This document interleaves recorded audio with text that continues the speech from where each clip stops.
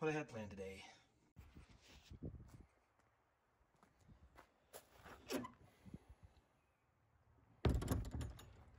Now you might ask yourself, Mike, how do you know it's the faucet that's bad?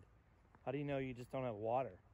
And that probably happens more often than a faucet being bad. But in my case, I've already had problems with this faucet turning on and off, and my dishwasher still works. So that's kind of a big one right there. Pop up. Hey, who's a good boy?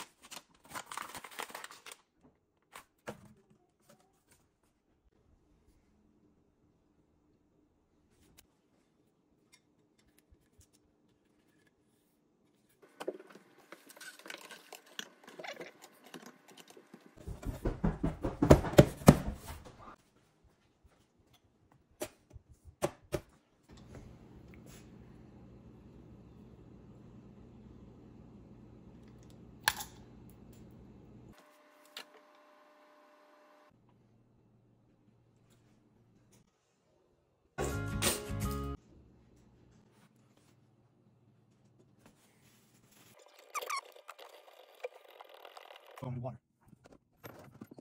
Um, yeah, I'm stop by say hi, guys. Pop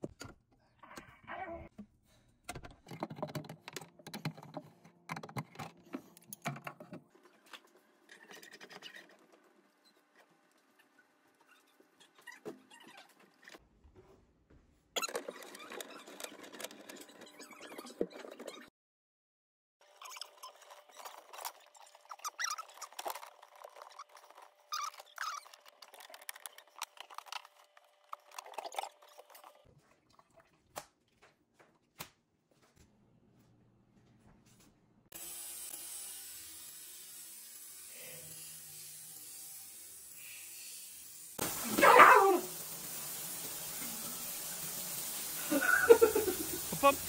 Hey, who's a good boy?